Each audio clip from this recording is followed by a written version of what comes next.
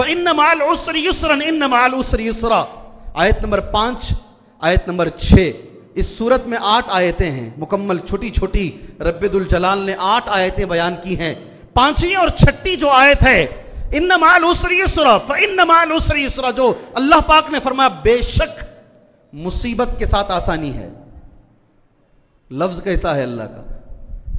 بے شک پوری پوری زور کے ساتھ، پوری قوت کے ساتھ اور پورے اعتماد اور یقین کے ساتھ بے شک مصیبت اگر آئی ہے تو ہنڈریڈ پرسینٹ آسانی فوراً آئے گی لگ کر آئے گی، دور بھی نہیں۔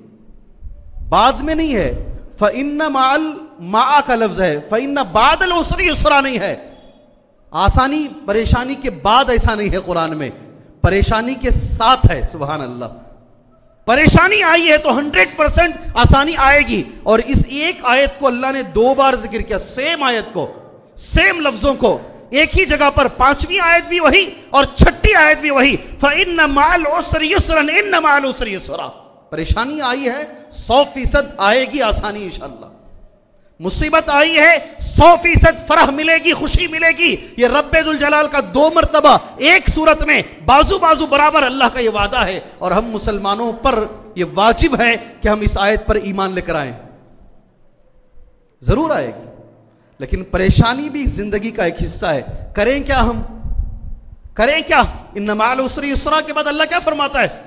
جی تم عبادت میں جی لگا کر محنت کرو۔ فن سب ویلا ربی کا فرغب فیدا فرق تو فن سب ویلا ربی کا فرغب جب بھی تمہیں وقت ملے، فارغ ہو جاؤ۔ ادھر ادھر کے کام کرنے کے بجائے الٹی پلٹی حرکتیں کرنے کے بجائے وہ مصیبت کو دور کرے گا، پریشانی کو وہ دور کرے گا۔ نہیں، اللہ تعالیٰ فرماتا ہے فیدا فرغ فن سب دو رکت نماز کے لیے کھڑا ہو جا۔ عبادت میں لگ جا، محنت کر۔ پریشانی کو دور کرنے والی چیز محنت ہے عبادت میں۔ فیدا فرغ فن سب وہ الا ربی کا فرغب اور رب کی طرف توجہ دے، دنیا والوں کی طرف چھوڑ۔ دنیا والے تیری پریشانی دور نہیں کر سکتے، پریشانی کو بڑھائیں گے ضرور۔ اس کا مذاق اڑائیں گے ضرور، ٹھٹھا اڑائیں گے ضرور۔ تیری عزت سے کھیلیں گے ضرور۔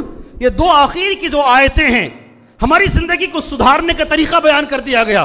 عبادت میں محنت، فن سب، دل لگا کر عبادت کر، وہ الا ربی کا فرغب اور جب بھی تجھے موقع ملے، اللہ کی طرف توجہ ہو جا۔ میرے محترم دوستوں، یہ چھوٹی سی صورت کریمہ، سبحان اللہ، بہت معنی، بہت ساری چیزیں اس صورت میں موجود ہیں۔ اور یہ جمعہ کا مقدس موقع اس کے لیے ناکافی ہے۔ میں یہ دو جو آیتیں ہیں، پریشانی کے ساتھ آسانی ہے، پریشانی کے ساتھ آسانی ہے۔ میں نے یہی موضوع چنا ہے آج کے لیے۔ اسی بات پر کچھ چیزیں مجھے آپ کے سامنے بیان کرنی ہے پریشانی ہر طریقے سے ہو سکتی ہے۔ قرآن مجید ایک جگہ پر کہتا ہے تلکل ایام اداوی لوہا بین الناس۔ چارویں پارے کی آیت ہے۔ زمانہ اپنے آپ کو بدلتا ہے۔ زمانہ اپنے آپ کو، کبھی کوئی امیر رہے گا، اس کے بچے غریب ہو جائیں گے۔ کبھی کوئی بادشاہ رہے گا، آج اس کی اولاد بھیک مانگ رہی ہوگی۔ وہ بھیک منگے کی اولاد کسی زمانے میں بادشاہ بن جائے گی۔ تلکل ایام اداوی لوہا بین الناس۔ یہ اللہ کا کلام ہے۔ رب الجلال کی بات ہے یہ۔ زمانہ اپنے آپ کو بدلتا ہے۔ حالتیں بدلتی ہیں۔ پریشانی اور مصیبت آتی ہے۔